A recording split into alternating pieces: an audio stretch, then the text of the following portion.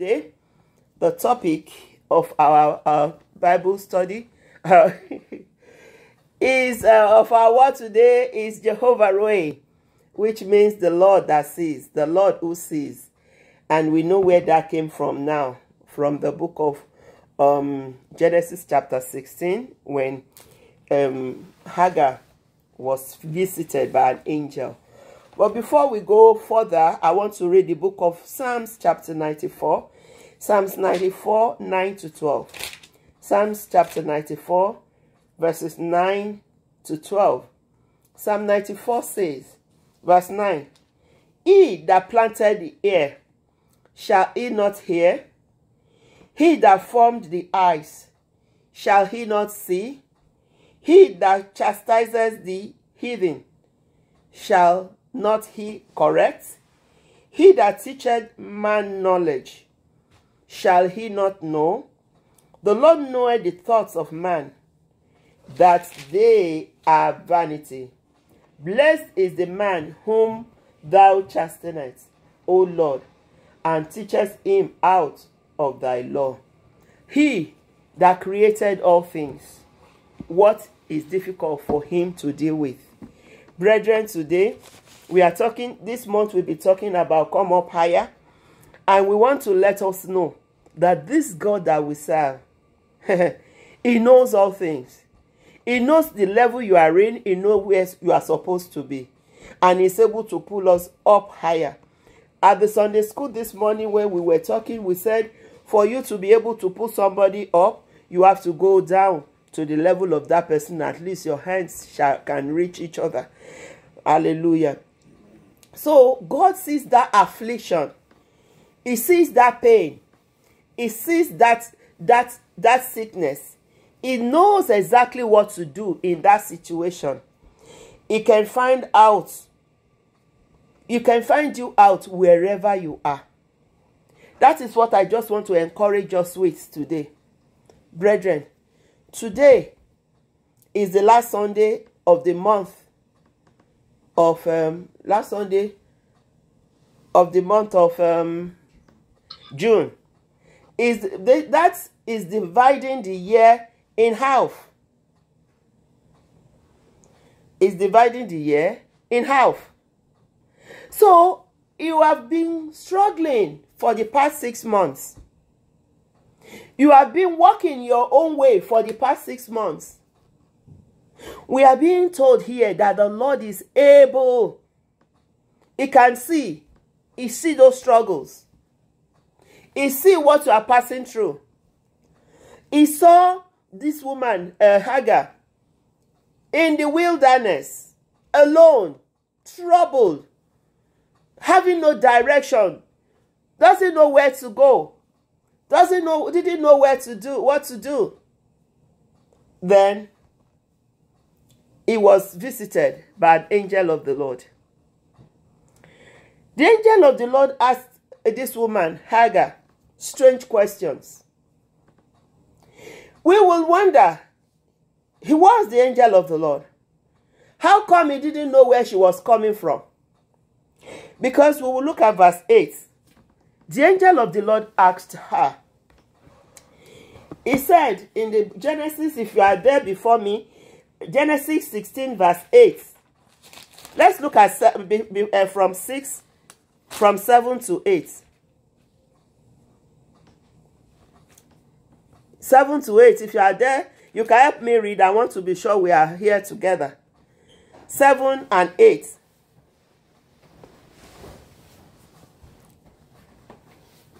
Genesis chapter 16, verses 7 and 8. Somebody please help me read.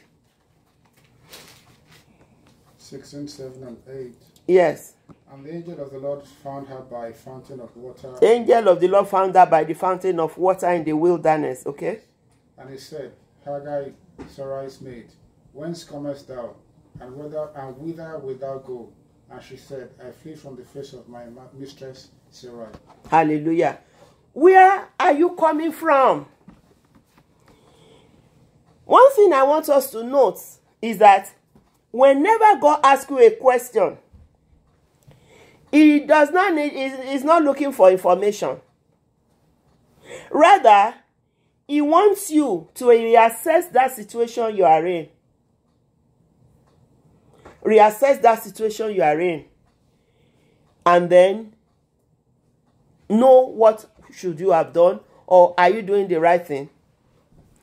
He had asked such questions from Elijah before when Elijah was running. It's like, what are you doing here? And they started story. Now, as children of God this morning or this afternoon, imagine that that question was directed to you. Where are you coming from? Let's take a minute to imagine if an angel appeared to you now or me and say, Yes, Omolara, Pastor Lara, whoever your name, where are you coming from? What will your answer be? You can answer where you are coming from from birth. You can answer where you are coming from before you were formed. You can answer where you are coming from that you are where you are today. Where are you coming from? Ecclesiastes chapter 12 verse 7 tells us that we are dust and dust will return to dust. If he says dust will return to dust, he might not be talking about me. Until I look back at Genesis chapter 2 verse 7. The Bible says, man was formed from the dust. So if you were form of the dust and you're a man, that's where you are coming from, dust. From before your birth. So after creation, what are the things that we have passed through? How did we get to where we are right now? What steps have we taken? Are you is? Because when we talk about being a, a, a, a dust, that's a beautiful thing. But man was born into sin with sin by sin. Hallelujah. And we have been given another chance to be reborn. In the book of John, chapter 3, verse uh, 3, except a man be born again, we have to be reborn from dust into a better uh, life. Come up higher. We have been born again if you give your life to Jesus. From just being ordinary dust to a person of the Spirit. That John chapter 3 verse 6 says, that which is born of flesh is flesh, and the one that is born of spirit is spirit. So when you are born of spirit, where you have come, you are coming from is now different from starting from there. That is why you see people, they celebrate how long they've been born again. How long have they left that, uh, that level of dust to dust alone to a person of the spirit?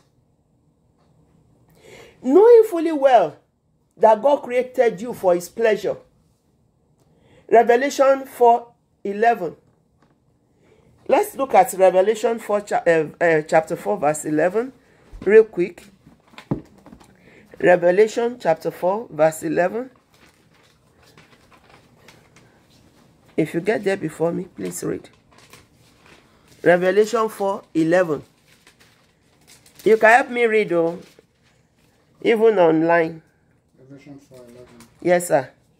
Thou art worthy, O Lord, to receive glory and honor and power, for thou hast created all things, and for thy pleasure they are they were created. Thou art worthy, O Lord, to receive glory, honor, and power. For thou art created all things, and for thy pleasure they are, and were created brethren. You and I were created to give God pleasure. But we cannot start giving God that pleasure until we become his own. Because the Bible makes us to know that God does not even look at the at um, sinners. He called them the wicked. He can't even look at them, not to talk of them giving him pleasure. But he created you for our pleasure. So, if he created you for pleasure, also he has predestined you, preordained you to fulfill the purpose for which he has brought you to this earth for. Uh, our daddy in the Lord, Pastor Adeboye said, the reason God does not kill us when we get born again is because he has a purpose for you. He has a purpose for me. Are we fulfilling that purpose? That is why when he asks you, where are you coming from? You have to be able to say, yes, Lord, I am coming. I have given my life to you.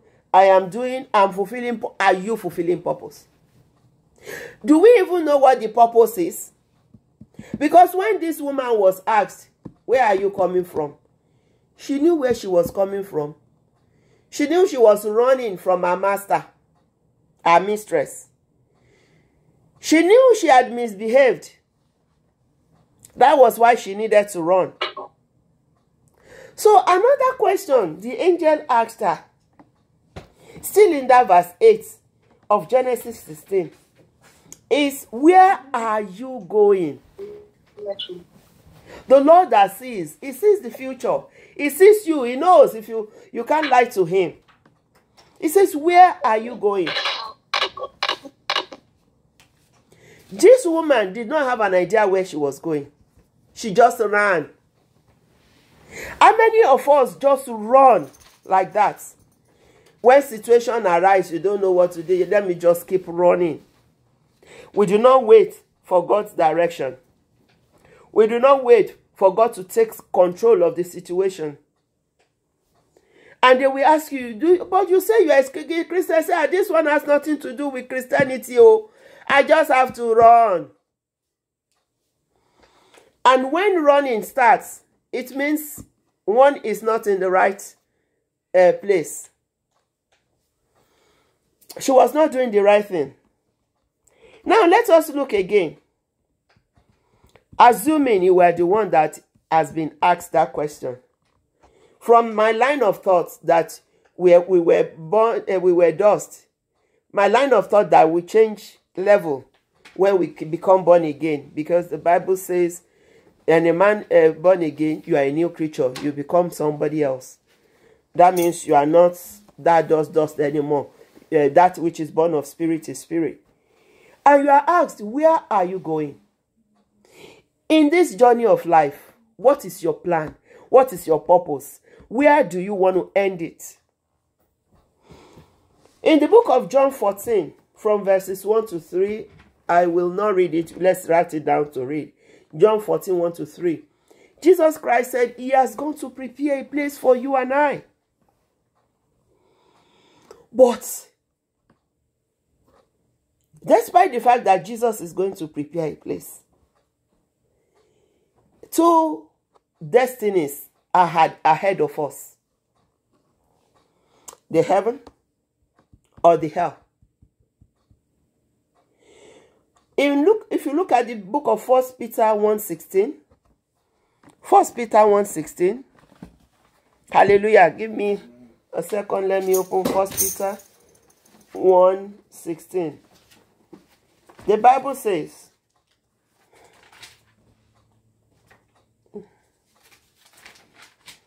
yeah, 16 says, Because it is written, Be ye holy, for I am holy determination of where you are going.